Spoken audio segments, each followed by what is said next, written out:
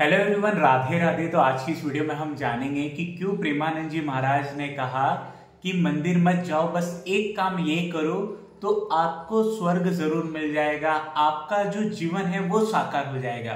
तो जानते हैं वो क्या चीज़ है जिसके लिए प्रेमानंद जी महाराज ने मंदिर को एक स्टेप नीचे लिया है और उस चीज़ को एक स्टेप ऊपर लिया है अपने आप को, आत्मा को सुधारने के लिए।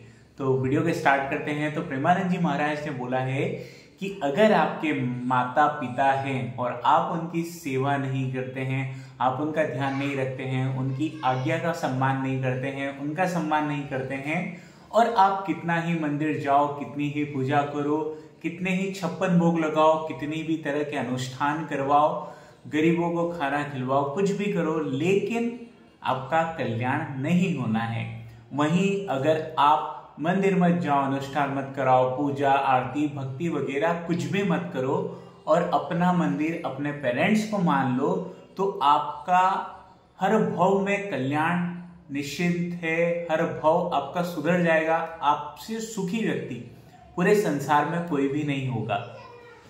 तो आपकी क्या राय है? कमेंट सेक्शन में ज़रूर बताइएगा इस विषय के ऊपर। मिलते हैं अगली वीडियो में। राधे राधे।